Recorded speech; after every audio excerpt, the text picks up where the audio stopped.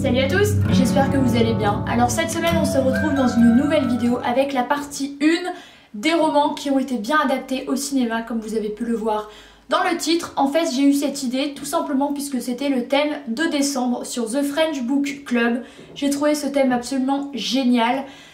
J'avais lu 4 livres sur la sélection euh, de 5 et du coup je me suis dit pourquoi ne pas faire une vidéo sur ce sujet là, sur des livres que tu as lus, qui t'ont plu et qui ont été bien adaptés au cinéma. Alors bien sûr dans cette vidéo je vais vous en présenter déjà que 6 puisque ma liste était très longue et que je vous ferai la suite un autre jour. Et euh, surtout, bien sûr, j'ai lu le livre et vu le film. Ce ne sont pas des exemples que j'ai trouvés sur internet où je n'ai soit que lu le livre ou soit vu le film. Je me suis vraiment assurée d'avoir euh, l'avis le plus objectif et surtout je vais vous transmettre ça. Et si vous n'êtes pas d'accord avec moi, bien sûr, vous avez le droit, c'est évident. Mais j'ai quand même... Euh, tenu à me rendre sur internet déjà pour me donner d'autres idées en fait de potentiels livres que j'aurais pu lire qui sont dans mes bibliothèques tout là mais il y en a de partout euh, et auxquels je n'aurais pas forcément pensé. Et du coup ça m'a donné d'autres idées de films à voir ou de livres à lire et inversement. Bref, alors le premier livre que j'ai sélectionné qui est revenu pas mal et que nous avions mis dans la sélection du mois de décembre, de janvier, c'était le mois de janvier, pardon, je me suis complètement plantée, c'est La délicatesse de David Fuenquinos, que j'ai lu il y a des années, mais je me souviens très bien de quoi ça parle, à quel point les personnages étaient atypiques, originaux, l'histoire complètement déjantée et le film était tout aussi fidèle. Je, l'avais trouvé absolument génial du coup avec François Damiens et Audrey Totou qui jouent respectivement Marcus et euh, Nathalie qui vont être amenés à se rencontrer. Elle, euh, elle, a perdu son mari dans un accident de voiture et ils vont vivre une histoire absolument euh, atypique, très originale. C'est... Voilà, déjà le livre est complètement barré atypique, je n'ai pas d'autres mots. Alors c'est très bizarre, en fait le gars s'appelle François, moi j'ai moi, vu qu'il... Dans le film il s'appelait Marcus, donc bon. Donc François en gros, il pense si elle commande ça, je veux lui parler, si elle commande ça, je ne vais pas lui parler, etc. Donc c'est quand même très original, c'est très bien écrit. Euh, et ils ont réussi vraiment à garder euh, dans le film euh, l'essence originale d'un film, d'une comédie romantique française mais complètement atypique. Et si vous en entendez du bruit, je suis désolée, ce sont mes voisins du dessus qui ont décidé de faire des travaux un samedi après-midi. Voilà, on adore. Mais voilà, ce livre il faisait partie de la sélection. Euh, je l'avais même proposé parce que c'était euh, très très fidèle et un très chouette livre si vous ne l'avez pas lu. Le deuxième que j'ai mis, et par contre j'avais vu le film avant de lire le livre, c'est L'intérêt de l'enfant de Ian McEwan qui avait écrit Atonement, je sais plus comment on traduit en français, mais en gros euh, Expiation, que j'avais lu en cours, donc c'était ultra chiant et voilà, on s'en fiche. Du coup, ce livre-ci, on va suivre Fiona May, qui est une juge spécialisée en droit de la famille et qui un jour va être sur le dossier d'un jeune homme qui a 17 ans, bientôt 18, qui s'appelle Adam Henry, qui est anglais et en fait euh, qui est témoin de Jéhovah.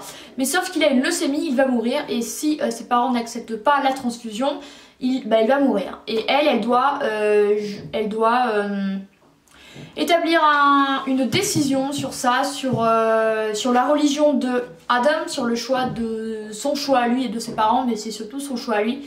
Voilà, c'est vraiment un livre qui aborde vraiment des questions morales. Parfois, même si on se dit complètement c'est la sécurité de l'enfant avant tout, il faut le sauver, peu importe sa religion, peu importe ses croyances et tout, vu qu'en fait elle, elle crée son, argument sur le sur Children Act, qui est un acte bah, pour la sécurité de l'enfant. Effectivement, il y a quand même des questions qu'on se pose euh, du style ne faut-il quand même euh, pas respecter son choix, sa religion et tout? Moi, je pense que non. Mais bon, voilà, c'est un livre qui amène à réfléchir à beaucoup de choses et au cinéma, il a été très brillamment interprété euh, par Emma Thompson. J'adore cette actrice, elle est brillante. Je l'adorais déjà dans le dans Harry Potter, le professeur Très Lunet, elle était complètement folle et elle joue vraiment très très bien. Il y a quelques différences mais microscopiques. Je crois qu'apparemment, euh, on avait parlé sur le club, euh, une des filles disait euh, ce n'est pas la même époque mais en gros c'est la même histoire quoi. Henry, Adam Henry, le jeune il va finir par accepter, ensuite il va la suivre la trace Le mariage de la juge s'effondre totalement, elle est complètement plongée dans son boulot, ça c'est vraiment la même chose, elle le défend euh, aussi ardemment dans le livre que dans le film si je me souviens bien. Donc ça pour le coup c'est très très fidèle et le film comme le livre vraiment sont top. Ensuite on va passer à de la comédie, enfin à du romantisme, de la comédie pas vraiment, avec Avant toi de Jojo Moyes. Encore une fois celui-ci on l'avait mis dans la sélection euh, sur euh, mon idée il me semble, et celle d'Olivia aussi, peut-être bien. Ce livre est génial, Jojo Moyes, je l'adore. Enfin même un jour je vais vous faire une vidéo sur elle parce que j'aime euh, beaucoup ce qu'elle écrit. C'est souvent assez léger mais pas que, il y a quand même quelque chose de profond.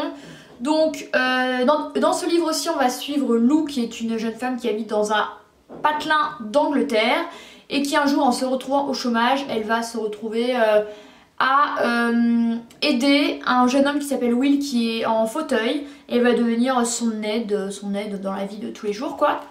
Et ils vont tomber amoureux, voilà forcément, c'est très émouvant, vraiment j'ai pleuré. Euh, ma mère là-dessus, au cinéma, il est brillamment interprété par Emilia Clarke et Sam Claflin. Voilà, top top top, aussi émouvant l'un que l'autre vraiment, de façon peut-être un peu différente mais vraiment, ça, enfin les différences ne m'ont pas choqué. Là par exemple je suis en train de regarder ma cousine Rachel, je me suis arrêtée en plein milieu parce qu'il y a beaucoup de différences avec le livre.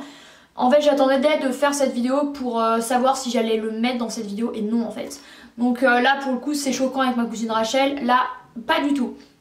Donc voilà et sachez qu'il y a euh, deux autres livres qui sont après toi et, après tout qui sont aussi bien. Voilà j'adore l'auteur anglaise et vraiment très très fidèle.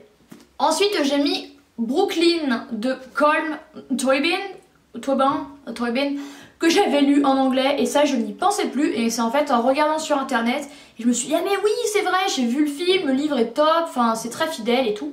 Donc le film est avec Saoirse Ronan comme vous pouvez le voir ici. Donc ça se passe dans les années 1950. Euh, Alice arrive d'Irlande euh, pour en fait trouver un meilleur travail, enfin un potentiel travail à New York. Elle atterrit à Ellis Island comme tous les immigrés de cette époque-là. D'ailleurs, euh, l'année dernière, je vous avais fait une vidéo sur 10 romans qui se déroulent à New York. Je vous l'avais mis, je vous le laisse également là. Si vous souhaitez d'autres titres qui se passent là-bas à des époques différentes, c'est vraiment cool. Donc du coup, forcément, euh, une nouvelle vie ben, commence pour elle. Elle est en couple avec un jeune Irlandais. Non, elle est en couple avec personne. Elle va s'enticher d'un Italien sur place, elle va apprendre l'anglais, elle va vivre dans une maison avec deux trois autres femmes comme elle immigrées, elle va devoir se trouver une situation et, tout ça. Mais également il y a vraiment le déracinement avec sa famille, notamment avec sa mère et sa sœur qui est très très violent, elles s'écrivent beaucoup, c'est très dur. Et dans le film c'est vraiment ça, de toute façon un film avec Saoirse ça ne peut être que bien, cette actrice est formidable. Si vous avez vu Les filles du docteur March, ben vous comprenez ce que je dis et dans d'autres films également. Et voilà, l'un comme l'autre sont aussi, euh, aussi émouvants, aussi beaux, c'est la même histoire, c'est très fidèle, les personnages sont traités de la même façon, il n'y a pas d'élément qui a été euh, changé, transformé, transformé, parce que ça, ça m'énerve énormément. Et en fait, un jour, elle va devoir retourner en Irlande pour la mort de sa sœur, il me semble, et elle va tomber sur un jeune homme qui était euh, qui habitait ben, dans son village et tout. Et elle va tomber amoureuse euh, de lui et là ça va être un gros dilemme. Euh, rentrer à New York et hum, retrouver son italien qui s'appelle Tony ou rester en Irlande. Enfin vraiment des choix de l'époque pour une femme qui, s'émancipe. Voilà c'est un très beau sujet, très beau livre, très beau film. L'avant-dernier livre, et on reste un peu dans la romance, mais là au niveau ado est très très triste. Avec évidemment Nos étoiles contraires de John Green, j'étais obligée. Voilà, j'ai un copain qui était là hier soir qui m'a euh, charrié sur ça, je lui ai expliqué le thème de ma vidéo et il m'a dit ah, il a regardé le livre, il a fait ah ça, j'ai fait ouais c'est ado. Il m'a dit ah bah c'est toi qui l'as dit. Hein. Bon bref, il en faut pour tous les goûts. Euh, moi John Green c'est un des rares auteurs ados que je peux lire. Mais évidemment, Nos étoiles contraires qui a reçu euh, le meilleur roman en 2012 par le Time. C'est aussi émouvant, donc c'est l'histoire, si vous ne savez pas, d'une jeune fille qui sait qu'elle va mourir, elle aime le sémi il me semble. Elle va rencontrer... Il a abîmé mon livre, c'est quoi ce délire là? Damn it. Elle s'appelle Hazel. Et elle va rencontrer un gars dans son groupe euh, de paroles de bah, cancéreux littéralement. Qui a la même maladie qu'elle, ils vont commencer une histoire ensemble, euh, il est joué au cinéma par euh, Shailene Woodley et Ansel Elgort qui ont joué déjà ensemble dans Hunger Games, donc c'est... non, dans Divergente, sorry. Donc c'est vraiment vraiment cool. Donc voilà, euh, au cinéma, il est très très bien interprété. J'ai pas remarqué d'événements, euh, de grosses différences. Voilà, quand je suis retournée sur mon blog, euh, quand je fais l'article d'un livre, je parle du film que j'ai vu, si je l'ai vu à ce moment-là. Je dis les différences, mais là j'en ai pas noté. Donc très fidèle, toutes les, les, deux sont tout aussi bien. Et le dernier que j'ai mis, que j'avais également mis, enfin proposé, que j'avais également proposé dans la sélection des livres euh, bien adaptés au cinéma de janvier, du coup sur The French Book Club, c'est Les âmes vagabondes de Stephanie Meyer, que j'adore beaucoup, que des gens ont lu depuis que j'en ai parlé et tout, donc euh, j'en suis ravie. Moi j'ai découvert lors de sa sortie en 2010 et quelques, il est sorti en 2008. Voilà, donc après tous les Twilight et tout ça, moi j'avais absolument adoré, c'est un de mes romans coup de cœur. Le film est très très bien et également encore avec Saoirse Ronan et Theo James, il me semble. Donc en fait c'est euh, un monde dans lequel, une espèce de dystopie fantastique, en plus fantastique, c'est un monde dans lequel euh, les âmes ont colonisé la Terre, euh, c'est des âmes qui vivent sur une planète, enfin, autre. c'est des âmes, c'est des choses immatérielles, mais qu'en fait on va mettre dans le corps des humains. Donc les humains euh, n'ont plus vraiment leur euh, conscience, enfin leur euh, conscience va être réprimée par l'âme qui va venir habiter le corps. Là c'est ce qui va se passer pour le corps de Melanie Strider, qui va du coup colonisée par une âme. Mais en fait elles vont bien s'entendre, elles vont cohabiter. Mélanie va lui dire, enfin va dire à l'âme où se trouve son petit ami, son frère, je sais plus qui, et, elle va y aller. c'est un monde dans lequel les humains doivent disparaître et tout ça. Donc, euh, donc c'est très dangereux euh, ce que l'âme fait pour le corps dans lequel elle est. Voilà, il y a énormément de suspense, c'est un monde euh, assez horrible quoi cette histoire d'âme et tout. Je me rappelle que j'avais beaucoup de compassion pour ces âmes justement parce qu'elles n'ont pas d'identité propre et de corps propre en fait. Un peu comme le livre A comme aujourd'hui. Et mais, mais voilà quoi, les humains bah, doivent cohabiter avec ces âmes-là et ont un intrus dans le corps, c'est assez horrible.